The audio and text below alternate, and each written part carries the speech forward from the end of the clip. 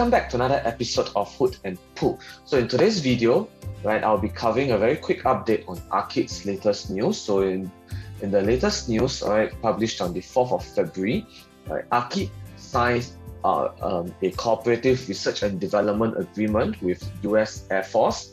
Um, so in this agreement, okay, so basically uh, the gist of it is that um, the agreement is to prove uh, a viable quantum encryption services for commercial platforms to DoD infrastructures for the US Air Force, and of course with other uh, use cases. So uh, related to, to the Department of Defense, which is DoD in short.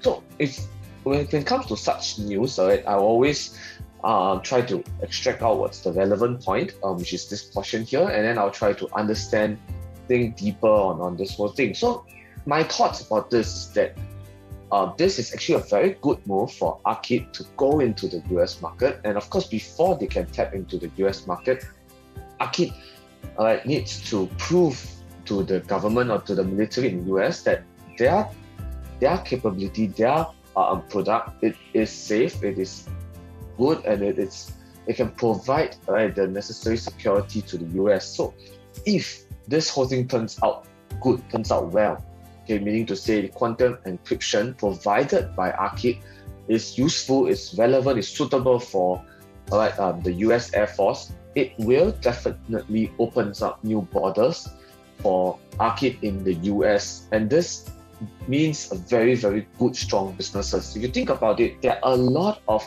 um, technology businesses, for example, CrowdStrike, Datadog, you know, Upstart. All of them, they are primarily right targeted targeted or located in the US. So most of their customers right comes from the US itself. So, so if Arqit being a UK company able to penetrate into the US market from the US um, government, uh, or rather the US military down, it will open up a lot of borders for them.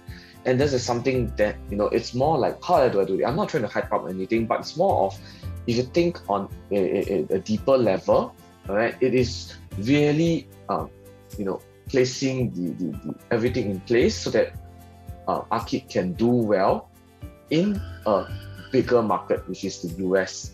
Right. So I hope this short update gives you more insight about the latest trend or the latest uh, news on Arqit. Um, and I'll see you in the next video. Invest safe.